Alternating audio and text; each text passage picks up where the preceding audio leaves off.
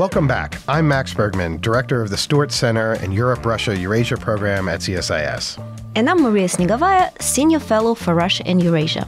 And you're listening to Russian Roulette, a podcast discussing all things Russia and Eurasia from the Center for Strategic and International Studies.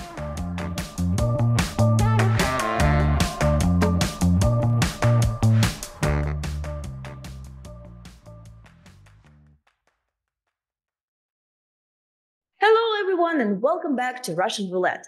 I'm your host, Maria Snegovaya, recording solo today while Max is on the road. Today, I'm joined by two excellent guests to discuss the recent turnover in corruption charges within the upper levels of the Russian Ministry of Defense. Why is this happening now?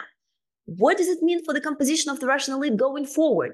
And how will it impact the Kremlin's ongoing efforts to expand Russian military industrial base and prosecute its war in Ukraine?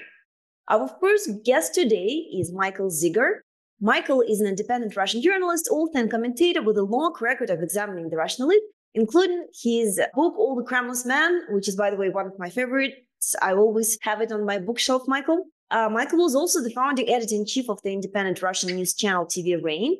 You can and should also follow Michael's writing on his Substack, The Last Pioneer, if you want to learn all about the Russian elite. Also joining us today from Oxford, England, is Dr. Christopher Davis. Professor Davis is a professorial research fellow at the Oxford Institute of Population Aging at the University of Oxford. In addition to his work on healthcare, Dr. Davis has done extensive research into command and transition economies with significant focus on industry and defense economics in the USSR and Russia. Thank you both gentlemen for joining us today. Let's jump right in. We have a lot of topics to discuss. Michael, let's start with you. Can you please give our listeners a brief summary of the turnover allegedly taking place at the Russian MOD in recent weeks? We've seen there is a bunch of various high level generals, commanders being arrested on often on corruption charges. What has happened and why is this happening now? What does this tell us about the war in Ukraine? So, essentially, what's your take on these multiple arrests at the MOD? Hello, Maria. Hello, Christopher. Pleasure to be with you. Thank you for having me. And yes, it's very very interesting. And ironically, it looks like as if dead Evgeny Prigozhin and dead Alexei Navalny are striking back from their graves because Putin is doing exactly what they asked to do. Because for the last months of his life, Evgeny Prigozhin was severely criticizing the leadership of Russian Ministry of Defense and all the top Russian generals, accusing them of corruption Actually, Navalny's team did the same. And one of the most interesting investigations about the war made by, by Navalny's team was exactly about former Deputy Minister of Defense Timur Ivanov, who was blamed for, for being very westernized elite person whose wife had a very luxurious way of life traveling between Paris and Moscow. So never before we had any precedent where President Putin reacted to, let's say, Navalny's investigation. That's the, the first time. Obviously, President Putin hasn't heard of Navalny's investigation. That's not the exact reaction. That's the reaction to the old dossiers and to the, all the files he's getting from, from FSB. But obviously, people from FSB use the information they learned from Navalny's team, or they have it from the same sources as Navalny's team had. It tells us that Putin really takes this war seriously. And he's becoming much more psychologically obsessed with it and involved. It happens to him when he starts running the process manually on a daily basis 24 7 and that's that's how he runs the war in ukraine he's really his own minister of defense he doesn't need Sergei Shoigu because he is running the army. He is running the Ministry of Defense. So he doesn't need another civilian to work as his Minister of Defense. And he shows that for this time, it's not acceptable to steal under his nose. He won't tolerate army generals or former army generals to disrupt his own war. That's the beginning of this process. So Putin is essentially taking charge and he is going after allegedly corrupt army leaders at the MOD. Just for our audiences, I will sum up that there's at least uh, four arrests announced uh, recently. Uh, that's the head of the main communications directorate of the armed forces and deputy chief of the general staff, Vadim Shamarin, former commander of the 58th Army of the Russian Armed Forces, Ivan Popov, head of the main personnel directorate of the Russian Ministry of Defense, Yuri Kuznetsov, and of course, deputy head of the Russian MOD, uh, Timur Ivanov. On top of that, we also have all this reshuffling with Minister Shoigu being replaced, and also his head of the office and press secretary have resigned. And all of his deputies as well. As well as his deputies. So, pretty big deal, uh, right? Against the, what allegedly looks like somewhat successful um, situation uh, on the front lines for Russia, and yet we see all this dynamic. Christopher, would you like to add something to what Michael has said? Yes, so I view this as you might expect more from an economics point of view rather than you know, Michael is a great expert on the elite and politics. And what's clear is this is a partial replacement of the high level staff of the Ministry of Defense, particularly in areas related to economics. As you read out the names of these people, but Ivanov, substantial responsibilities for construction, Verteletsky for procurement, you know, others working on logistics. These have all proved to be problems over the last two years. But these replacements are not a total fulfillment of what some critics of the war have called for, in that Gerasimov is still head of the general staff. It's not really addressing any problems with the high command, with officers going up involved in an operational sense. And I would just say that you have to see this in the context of the reshuffling of the economics block as opposed to the security block in the period since President Putin has started whatever it is, his fifth term, only in May. So, Minister of Defense Shoigu secretary of the Security Council, but he's also head of the Federal Service for Military Technical Cooperation, which is uh, more of a state body, and former Minister of Trade and Industry, Manturov, who I think is quite a capable administrator. I've seen him in operation when I was working on health in the COVID period with pharmaceutical industry and so on. He has been promoted to be the deputy prime minister with special responsibility for space and defense industry. And then Mishustin has been kept on, and he's head of this, this special committee meeting the needs of the, the armed forces. So you've got a, a team of people, and we mustn't forget President Putin, as Mikhail was saying, he plays a prominent role.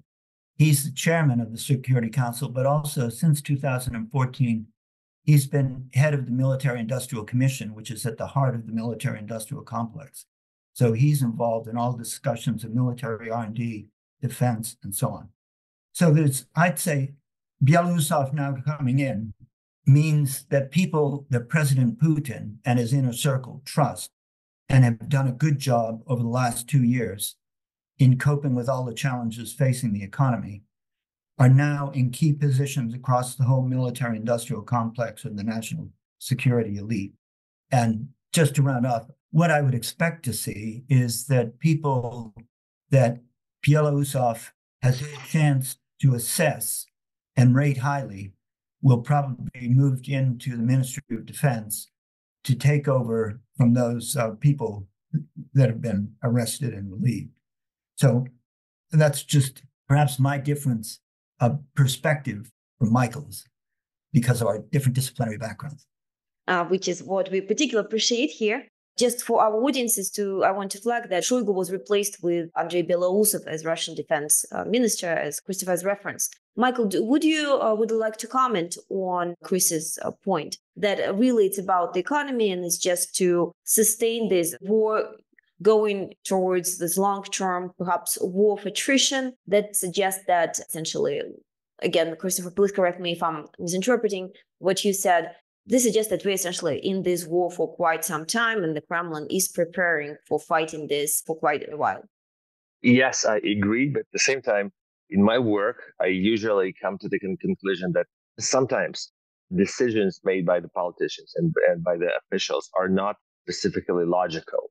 Sometimes they come from the psychology, from their weaknesses, from some psychological changes they, they are experiencing obviously, we now see that President Putin himself has changed a lot during the two years of the war.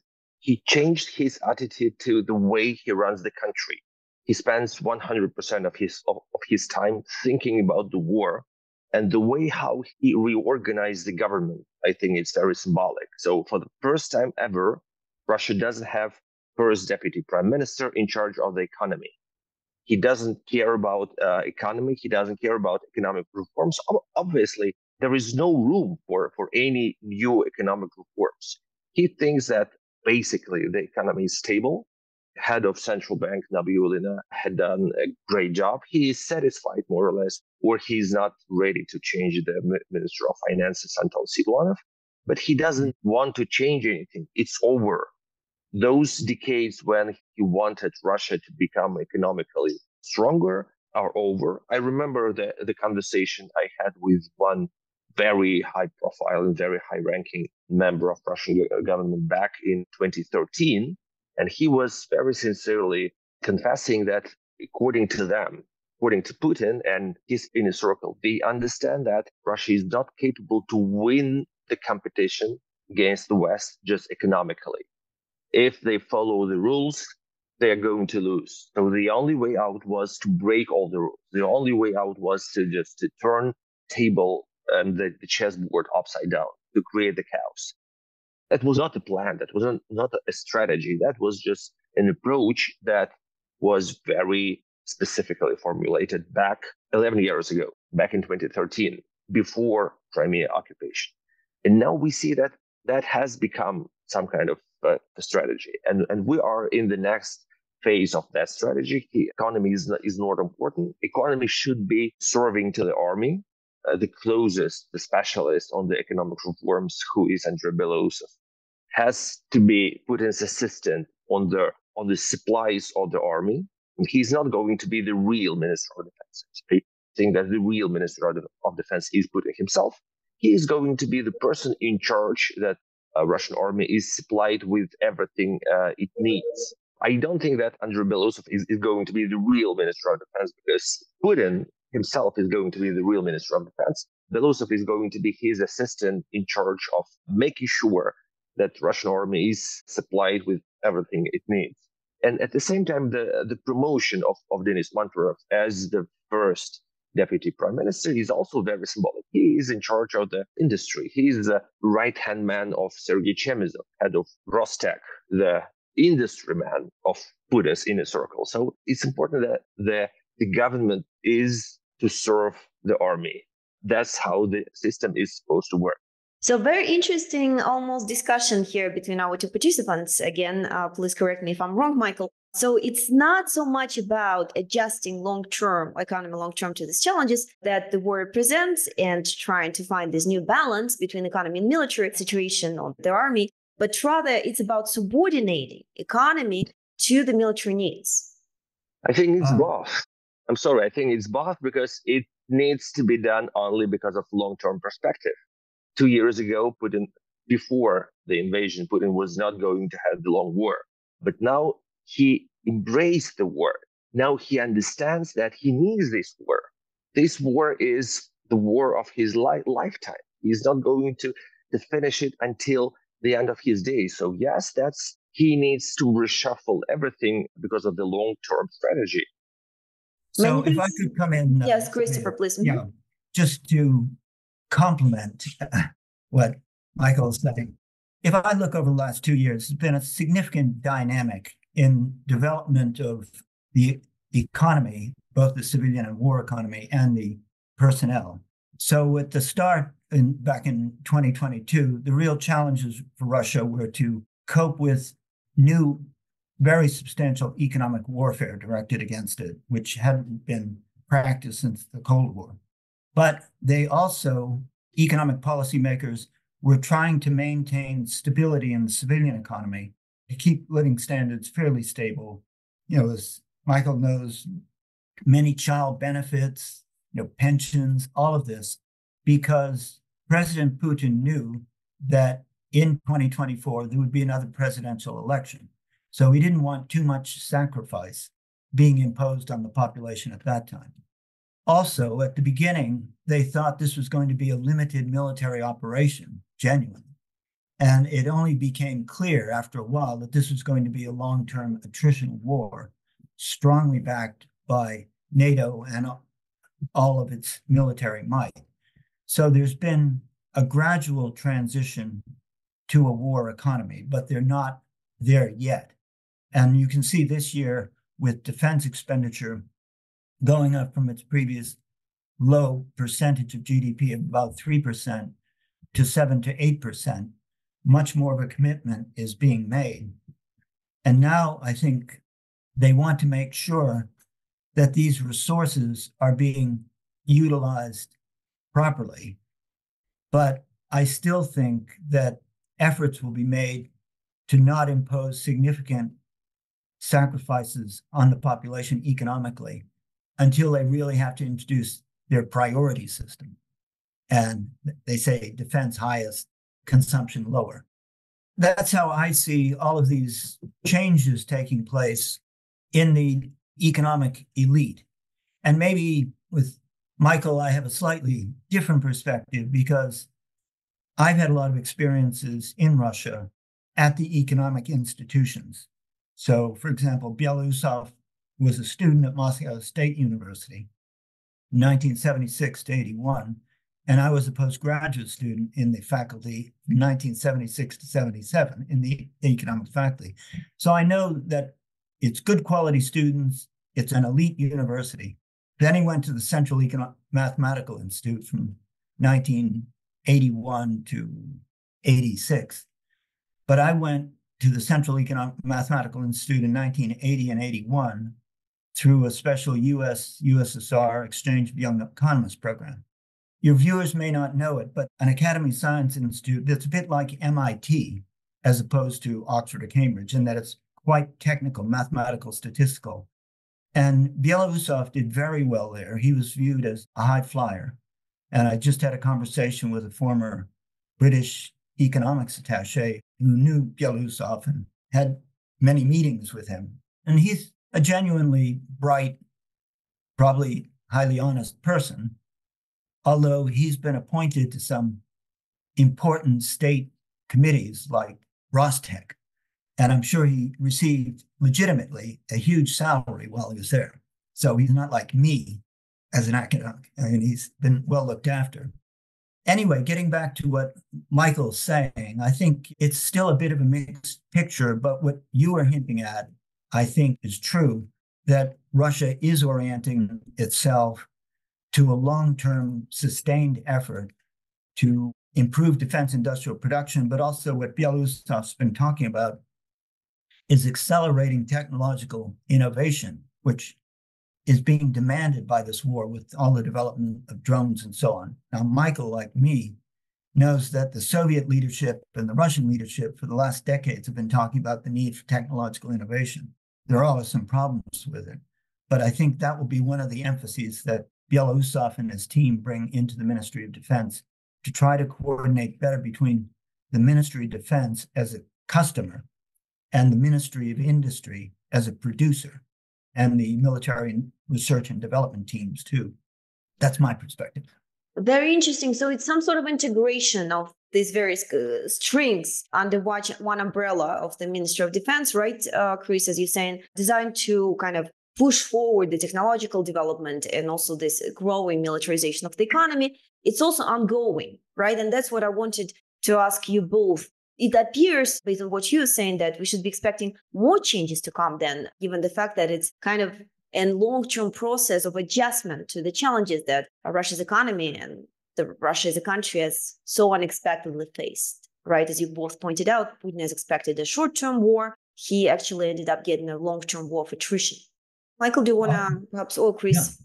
I organized a conference at Oxford in December, and there were people who were working on defense economics, but also on military issues. One of them made the point that in 2022, when things were not going well, they made a decision to shift. It's not just to attritional warfare, but it's to more of the defensive approach, the Surovikin line, which is using the ideas of a former Soviet general Svechin about what you do to wear down your enemy in preparation for a future offensive. So the, the general staff, the military, somewhat redeemed themselves by that later shift. what we haven't seen yet is substantial change in the, the high command. So what Gerasimov is in charge of. And you were asking about future changes. I don't know, Michael, how rapidly do you think there'll be some changes now in the, the military apparatus as opposed to the defense management team that Belousov is probably more interested in? Because that will then indicate completion of the transformation of the Ministry of Defense. Right now, it's evolving one way or the other. I do think that more changes are going to be expected, but I don't think that it's going to be fast. I don't think that that he's got a lot of people put in charge instead of Gerasimov, and there are not not so many people he trusts. And the fact that he's going to to prepare for some changes, we see that he moved a very important person who is former bodyguard. Then he used to work as as Tula governor Alexei Dumin, and now he is in Kremlin. He is sitting right next to Putin, and he is probably he's going to be the new chief of staff in several years, or could be uh, promoted to some other position. But the fact that he he brought back a military man, a very trusted military man, the military man who was in charge of Crimea occupation, and also he was in charge of the establishment of Wagner Group, as he was supervisor of the Wagner Group from Ministry of Defense that person, Dumin, is going to prepare the next reshuffle in the army in, in the general staff.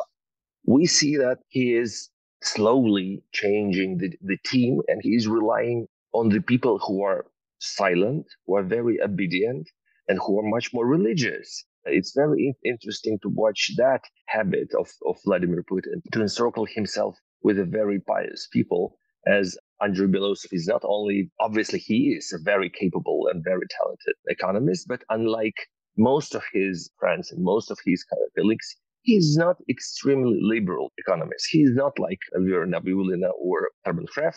He's not like Sergei Glaziev, also another economist who comes from the State University economy department. He is very super leftist economist. Belousov is right in the middle He's very loyal, but he is famous for his religiousness. He is very religious person. He strongly believes in God.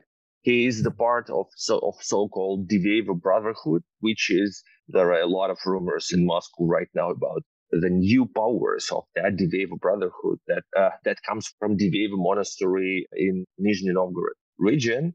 That is some kind of religious community established by, by Sergei Kiriyenko the person who is in charge of Russian domestic policy. And there were a lot of rumors that his situation was not so stable. He was the, the candidate for the removal, but he remained in his position. He is still in charge of the domestic policy. He, along with Andrei Belousov, he is the part of that Diveevo Brotherhood. And what is important, Sergei Kiriyenko, now turned into very religious person, works as some kind of Kremlin's chief personal officer. He is teaching new people. He has established so-called school of governors. He is preparing the new elite. And we saw that during the latest reshuffle, four former governors, very young governors, including Anton Alikhanov, former governor of Kaliningrad, who is younger than 40. He's, he's 36, I think. He is the new minister of industry. It's very important that that new team, educated and handpicked by, by Kiriyenko, is slowly moving uh, to Moscow. They are very, very loyal. They are probably much more religious than the previous cynical generation used to be. And what's important to Putin, they are not ready to give him any, any advice. It seems like Putin doesn't need to listen to anyone any longer. He wants to speak. He removed Patrushev from the position of the secretary of, of the Security Council, although it doesn't mean that Patrushev is, is not important any longer, but he is moved to much more symbolic position. Putin wants to encircle himself with younger and more loyal and more obedient people. Very fine picture you're drawing here. Michael, I just wanted to cite the quote by Putin when you mentioned about religiosity of this commerce or perhaps those who are not newcomers but being promoted to higher position elite members uh, putin once said like we like martyrs will go to heaven and they probably referencing the west will simply die. That is a little bit concerning i have to say. Chris sorry go ahead.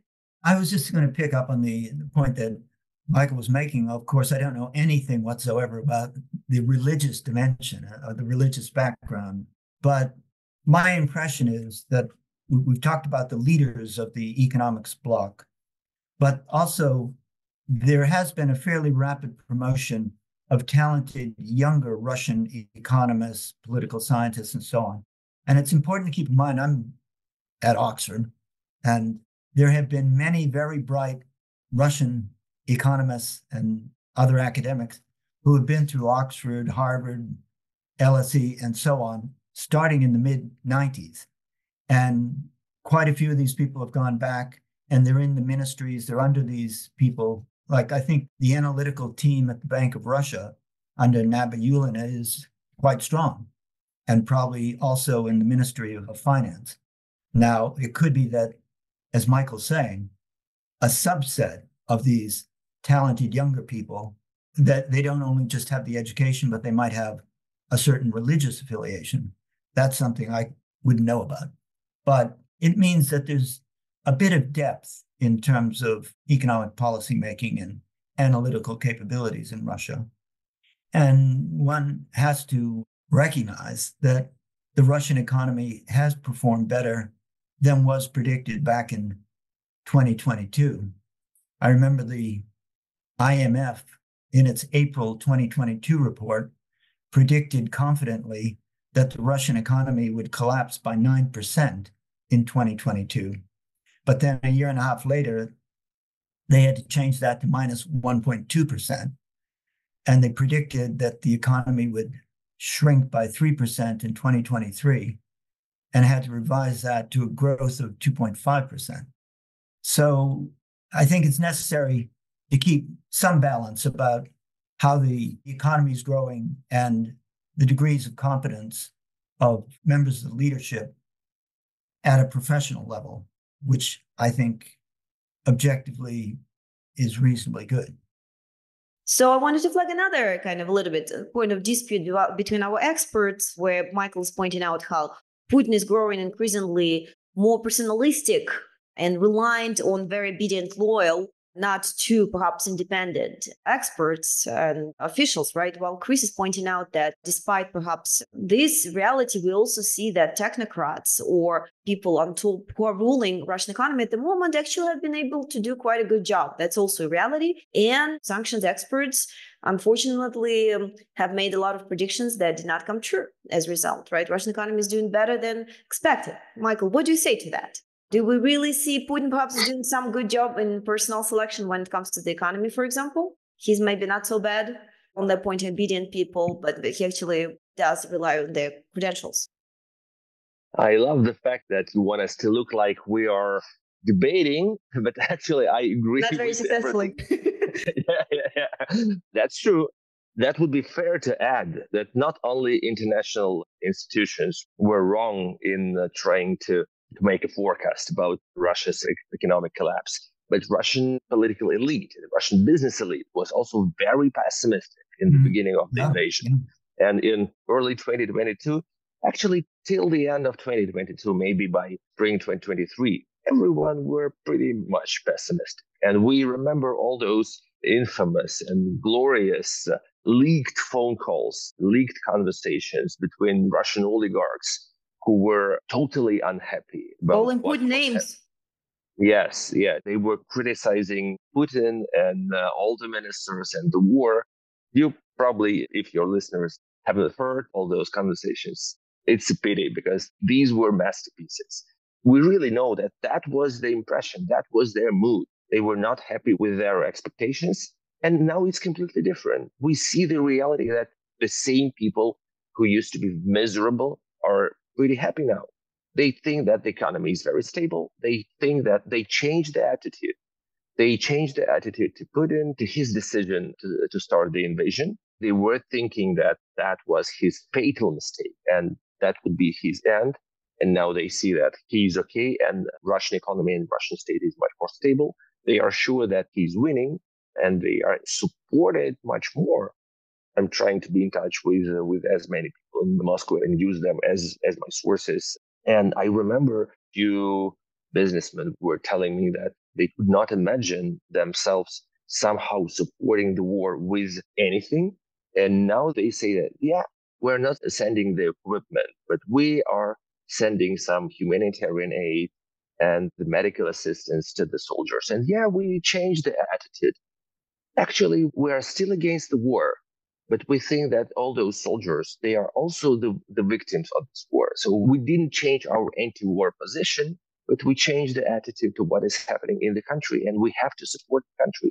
And after all, it's going to be very bad if Russia loses this war because uh, it's going to be very bad for us, they say. These are completely different people from what we saw two years ago. And yes, they are much more confident in Russian economy. And obviously, they believe that it's going to be very long. The war is going to continue.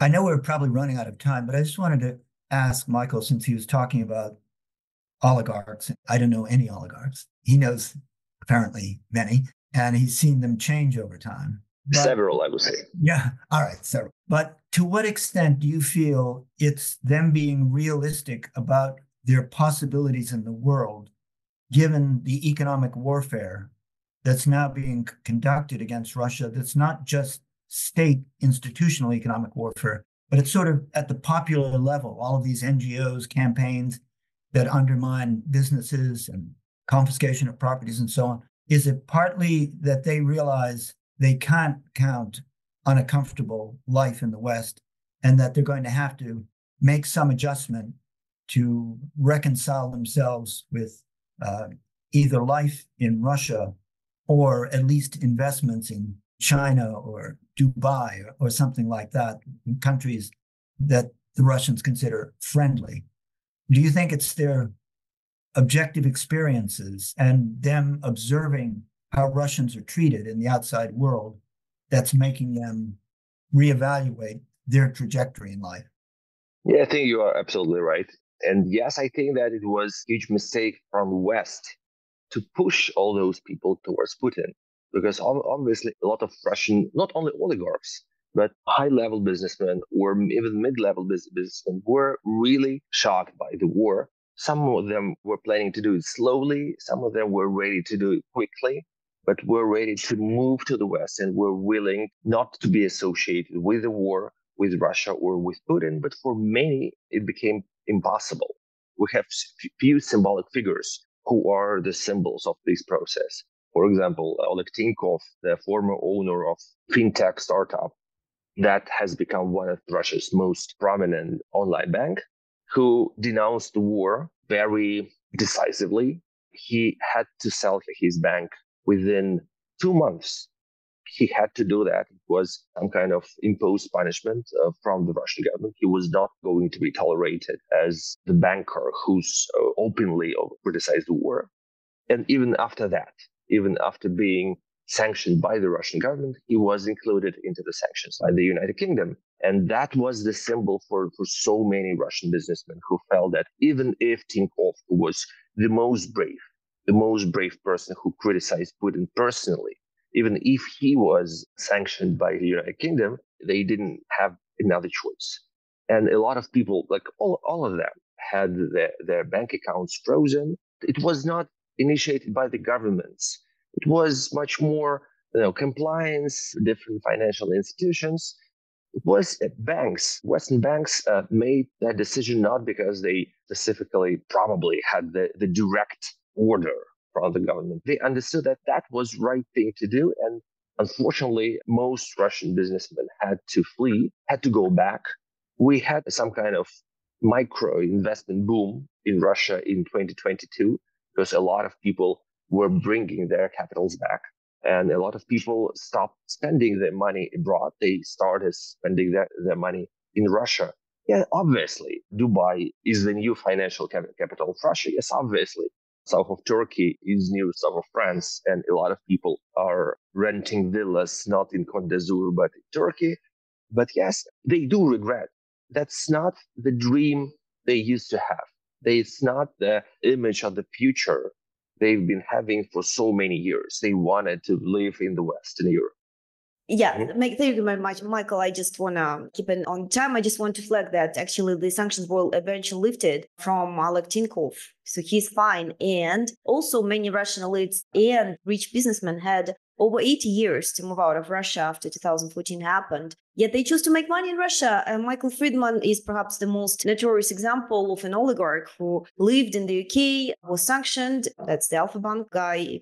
He led and then, back to and, Moscow sorry, and now sorry, he's sorry, sorry, sorry, sorry, sorry, sorry, sorry. Yeah, before that, yeah, he was sanctioned and then he was arrested for a day in December 2022. Then all the charges were lifted and he even got the compensation for the wrongful arrest in London. The point being but, that uh, he is now suing the West for sanctions without saying anything against the war in Ukraine, and he moved back to Moscow. So, if anything, I think that confirms that sanctions were correct. Those are not the people who would ever be allies of the West. They were not willing to give up on the money that they're making in Russia. I do not it's agree. Just, I do not agree. Well, we'll agree to disagree here. I just want to make this yeah. point.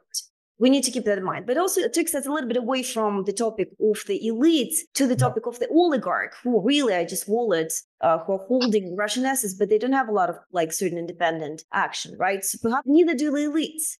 But I wanted to perhaps conclude this conversation with one question to both of you. Michael, you pointed out that there's destabilization going on in Russia.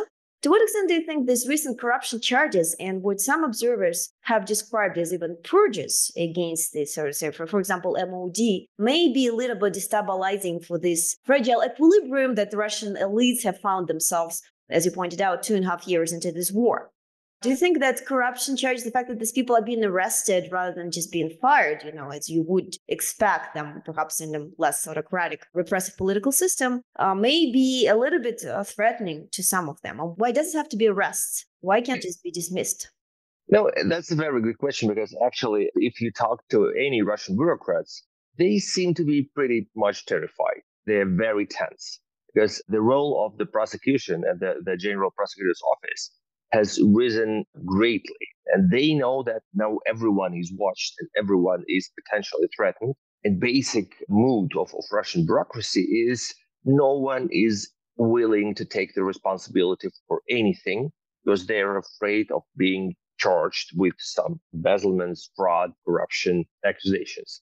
That's the atmosphere in, uh, in Russian bureaucracy, which has become much more passive and apathetic than it used to be. And at the same time, we, we have seen a lot of very strange cases with Russian prosecution. For example, last year, the leading food producer, the company that was producing pasta in Russia, company named Makfa, was charged with 100 trillion rubles. They were accused of tax fraud for 100 trillion rubles. That's an amazing amount of money. It's a fantasy. That's like triple size of the GDP of Russia. Actually, the objective was just to take the company from the owners and to find some new owners for that property. And that's the process. That's what's happening. Everyone knows that. Uh, many yeah, thanks, just, Michael. Yeah, Chris, anything to add to that? Yeah, just in conclusion, I think there have been significant personnel turnovers in the Ministry of Defense, as we've discussed, and also other cases that Michael's saying. And there are many people in the Russian government who undoubtedly are vulnerable if suddenly the prosecutor says, My goodness, you accepted a bribe. And they might have known this for 10 years. But the impression I have from President Putin coming in for this new term is that there's a certain emphasis on stability. And there is some turnover in key places. But right at the moment, it's not getting out of control the way let's say it did back in the Stalin period or some other episodes in Russian history. But that always could change just because there are vulnerabilities. This perhaps is the best way uh, to conclude our today's conversation. It was very interesting and certainly dynamic. Clearly, there's a lot more to say on the topic. So, Chris and Michael, at some point, I'll be happy to welcome you back to our podcast. But as of now, we'll have to end it there. Clearly, there appears to be some sort of a fragile balance you found in the Russian elites, but it's very likely that this balance will not survive. So there'll be more to talk about for us. But I wanted to stop here by offering a big thank you to Christopher and Michael for joining us today. And of course, another thank you to our listeners for tuning in. And as usual, if you haven't already, please subscribe to our show and give us a five star rating And please also check out our sister podcast, The Europhile, wherever you get your podcasts. See you next time.